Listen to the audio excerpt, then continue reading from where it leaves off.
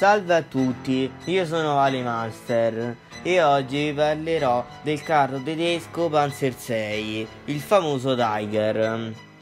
Il prototipo, dopo vari studi e prove, venne presentato dal costruttore Henschel il 20 aprile del 1942 in occasione del compleanno del Führer.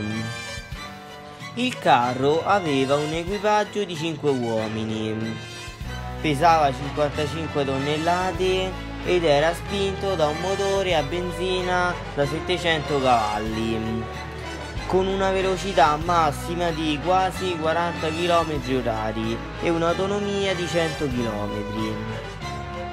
Il Tiger era lungo 6,2 metri, largo 3,73 metri e alto 2,86 metri.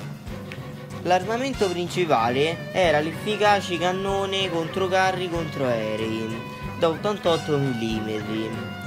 Aveva inoltre due mitragliatrici MG34 da 7,2 mm.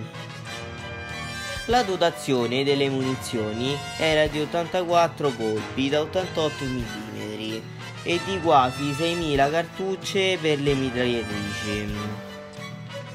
Per la sua epoca il Panzer 6 fu un progetto eccezionale per la potenza del cannone e la buona corazzatura. Pur non essendo particolarmente agile, fu però in grado di dominare i campi di battaglia.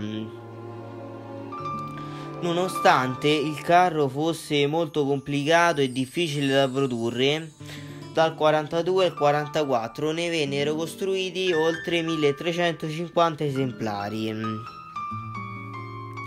Il Tiger fu incontrato per la prima volta dai britannici in Tunisia e da allora apparve su tutti i fronti tedeschi. Per oggi ho finito, vi saluto e come al solito se vi sono piaciuto iscrivetevi pure sul mio canale. Ciao da Valimaster.